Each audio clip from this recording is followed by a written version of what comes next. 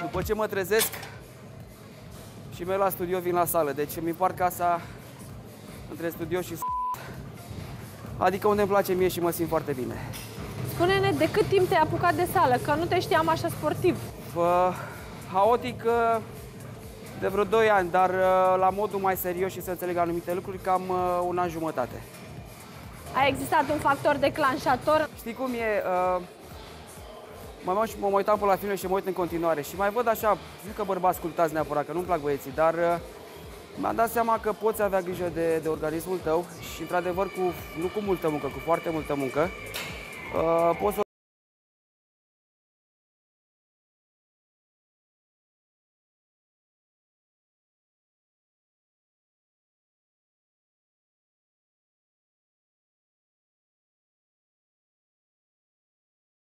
Persoana dragă sufletului meu este acolo sus.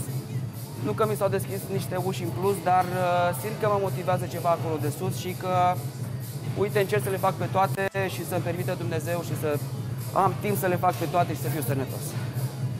Încep să se așeze lucrurile cumva în viața ta.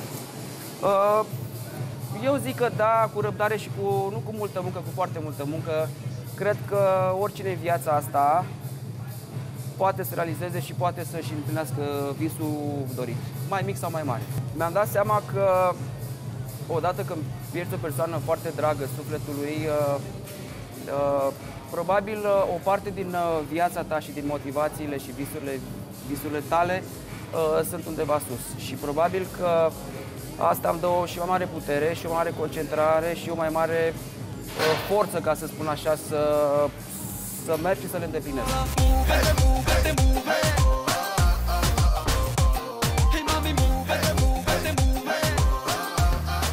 Dacă motivația interioară o, o ai sau sper să o ai permanent, nu doar dintr-un scop anume sau dintr-un moment al vieții în care se întâmplă un lucru mai puțin sau mai, mai mult uh, bun sau frumos, ca să spun, sau urât, uh, trebuie să ai motivația asta mereu și să fii în fiecare zi te trezești, cum spunea și mai devreme, te trezești, uh, a doua zi să spui pot să fac asta, sunt conștient că trebuie să fac asta și îmi pun toată munca și toate, tot efortul meu să, să fac lucrul ăsta.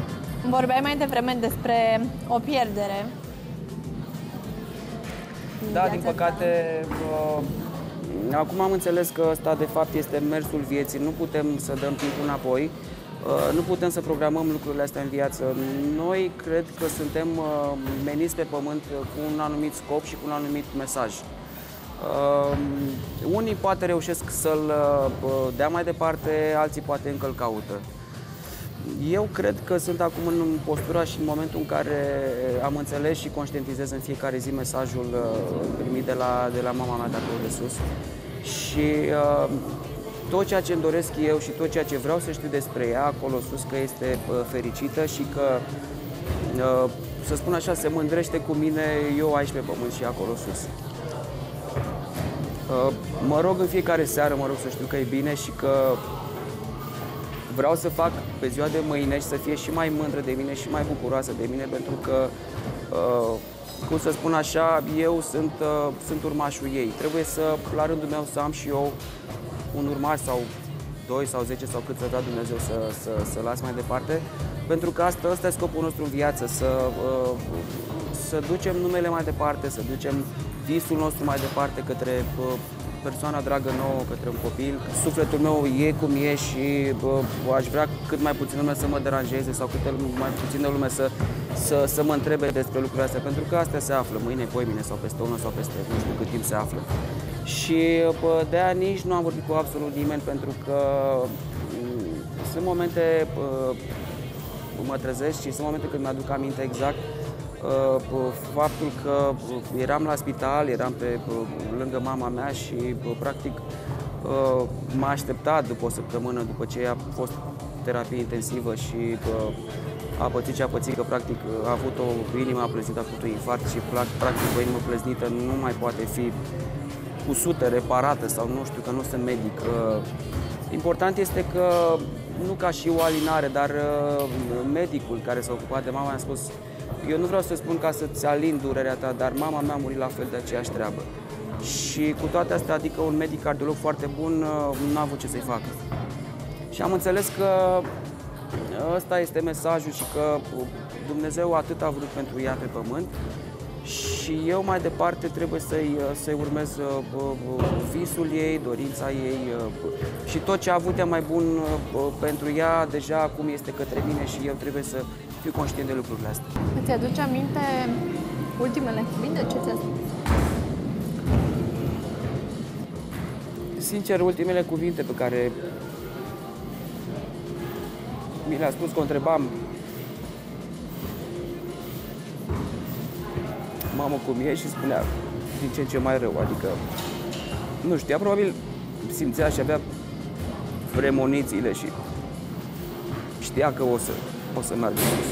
Eu aș, asta cred 100% și cred în fiecare zi treaba asta.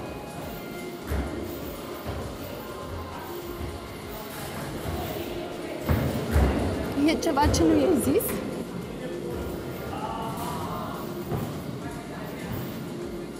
Acum le știe pe toate sus și le vede pe toate și... Și știe că poate ce am ascuns acum o știe și poate a văzut din mai multe motive și... Și n-aș putea să stau să dau timpul înapoi pentru că nu putem face lucrul ăsta niciodată.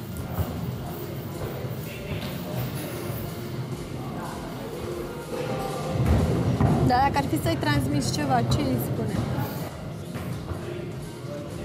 Păi, de transmis îmi transmite ea fiecare zi și în fiecare seară și, și o simt, o simt lângă mine când, când mă rog pentru ea și uh, simt că e lângă mine și uite, simt că e lângă mine și acum când stăm și vorbim și povestim. Și știu că stă lângă mine, lângă noi și zâmbește și, și poate se bucură și știe că mâine o să fie și mai bine pentru, și pentru mine și pentru tine și pentru toată lumea. Ce își dorea să faci tu mai departe?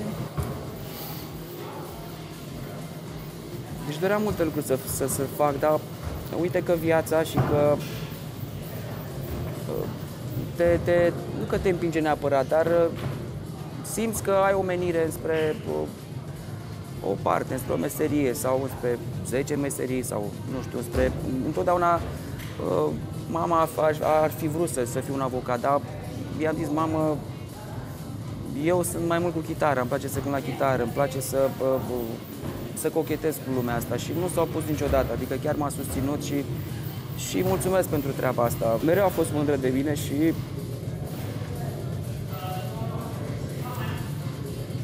și știu că bucuria ei când mă vedea la un televizor, la un post de radio sau mă auzea pe un post de TV, de radio, la fel. Uh, și știa că eu sunt, uh, cum să zic, cred că nu mai conta pentru ea nimic mai mult decât că să știe că băiatul ei e acolo și că mai știe de mine uh, poate mai mult decât vorbeam cu ea la un telefon sau, sau țineam legătura cu ea. Din păcate, mm, ea nu este, să spunem, mormântată în București, nu are importanță unde este mormântată, dar uh, știe, adică știe că nu pot ajunge mereu acolo, știe că nu pot să, să fiu lângă ea acolo, dar știe că sunt mereu cu ea și lângă ea oriunde sunt în lumea asta și orice fac, știu că e lângă mine și știu că oricând va fi lângă mine mereu. Își dorea foarte tare să-ți întemeiezi și tu o familie, că povesteai mai devreme și de urmași și că așa e lumea făcută să duci numele mai departe. Da, își dorea, chiar îmi spunea, să zic așa, în ultimii doi ani, își, do- își spunea, mamă, că vreau să văd și eu, să fiu și eu bunică, să zic, mamă, când o vrea Dumnezeu se întâmplă lucrurile astea.